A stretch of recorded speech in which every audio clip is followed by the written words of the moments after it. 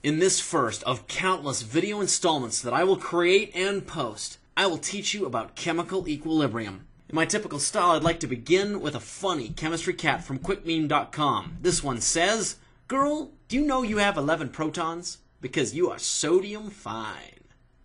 Ha ha!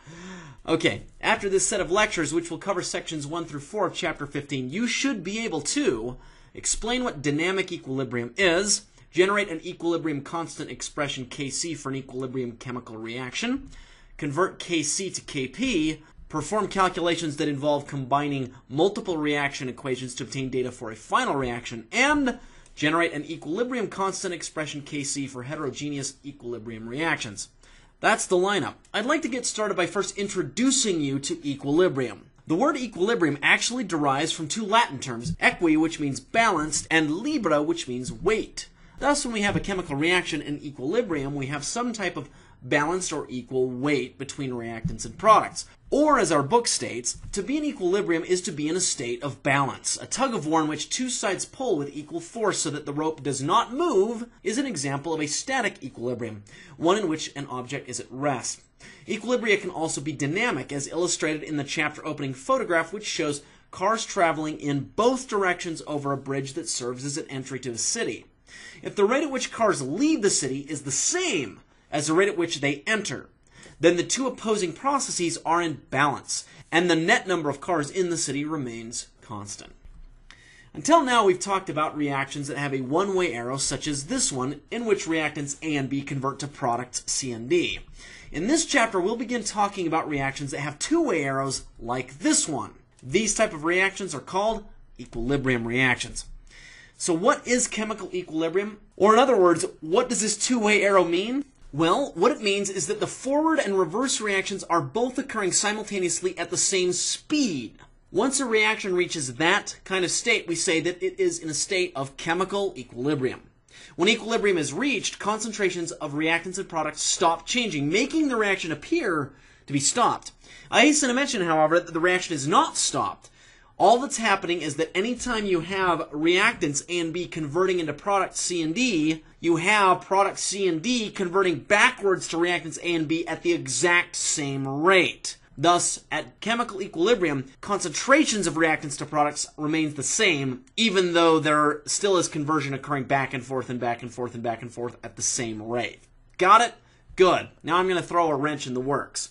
One thing you need to understand is this. Just because a system is at equilibrium, that does not mean that there are the same amounts or equal amounts of reactants and products. Doesn't mean that. I could have tons more reactant than product, or tons more product than reactant. Or I might have about the same of both, or somewhere in between.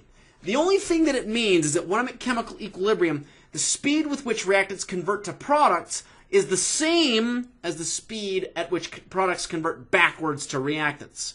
That's what chemical equilibrium means. But the relative amounts of reactants to products on both sides of the arrow could be very different.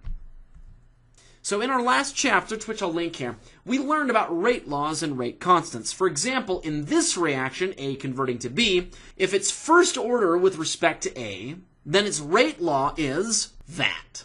We also learned that such reactions' rate constants, K, do not depend on the reaction's stoichiometry. An equilibrium reaction, however, which has a two-way arrow, is actually two reactions occurring simultaneously at the same rate. The forward reaction, A converting to B, and the reverse reaction, B converting back to A. Now, because those two reactions are occurring at the same rate, we can actually say that the rate law of the forward reaction is equal to some constant K multiplied by the concentration of A. And that rate is also equal to some rate constant K of the reverse reaction multiplied by the concentration of B. In other words, I've got two reactions. Hopefully that makes sense. So this means algebraically that the concentration of B divided by the concentration of A is equal to K forward divided by K reverse. Now, if you don't believe me, please pause the video, go back to the previous slide, and see if you can rearrange the terms I just showed you to make sure that this makes sense. You should find that they indeed do. Because K forward and K reverse are both constants, we can simplify this to just say that the concentration of B divided by the concentration of A is just equal to some constant. Got it? K. Hence, the overall equilibrium rate constant, which I'll call Kc for this reaction, is equal to the concentration of B divided by the concentration of A. Thus, unlike one-way reactions, the constant for equilibrium reactions does depend only on the stoichiometry of the reaction and not on its mechanism. Also, just, you know, Kc has no units. Now, generally speaking, then, for any reaction like this one, for instance, where we have a two-way arrow as opposed to a one-way arrow, the equilibrium rate constant Kc is going to be equal to the concentrations of the products raised to exponents that are equal to their coefficients divided by the analogous terms for the reactants. You should note that I told you in an earlier lecture that for general rate laws, the exponents here are not necessarily equal to the coefficients. For equilibrium reactions, where we have two-way arrows, they indeed are. So now I'm going to ask you a question.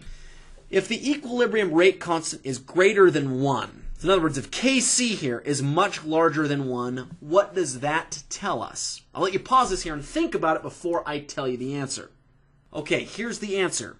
If Kc is much, much larger than 1, that tells us that at equilibrium, the concentrations of C and D are much, much larger than the concentrations of A and B.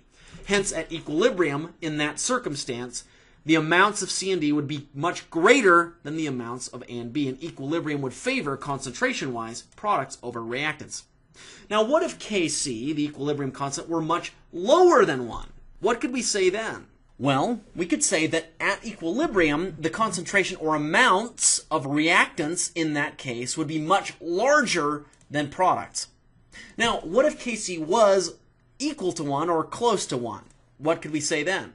Well, in that case, we could say that at equilibrium, the relative concentrations of products to reactants are about equal. I want you to keep that in mind for a question that I'll ask you momentarily. Which takes us to some beautiful lecture questions. Foremost, which of the following expressions is the correct equilibrium constant expression for the equilibrium between dinitrogen tetroxide, this thing, and nitrogen dioxide, that thing? I'm not going to answer this for you, but we'll let you attempt to do it on your own. And this question, when the following reaction comes to equilibrium, does the equilibrium mixture contain mostly reactants or mostly products? Once again, I'm not going to answer this question for you, but will give you some guidance. We should note, looking at this, that the equilibrium constant is right here. Is that number much larger than 1, much smaller than 1, or equal to 1? Having answered that question, you should be able to determine, based on what I told you a few moments ago, which side is favored, either reactants or products. I'll let you once again do that on your own. We've now learned about Kc, which is the generic equilibrium constant. I'm now going to teach you about another equilibrium constant called Kp. Kim Possible! As it turns out, when all of your reactants and products are gases, you can actually uh, come up with an equilibrium constant that's in terms of pressure. That is called Kp. Thus, for any reaction like this one, the pressure rate constant, or Kp, is equal to the individual pressures of each of the products raised to exponents that are equal to their respective coefficients, divided by the individual pressures of the reactants raised to exponents that are equal to their respective coefficients. That is Kp. So Kc, once again, is this equilibrium expression in terms of concentration, usually in moles per liter. Whereas Kp is the equilibrium constant in terms of pressure, usually in atmospheres or millimeters of mercury or something. Now Kp and Kc can be interconverted by using this equation. Kp is equal to Kc multiplied by RT raised to the delta N, where R is the ideal gas constant, and this is the version that I usually use. You want to make sure that you choose an ideal gas constant that has matching units.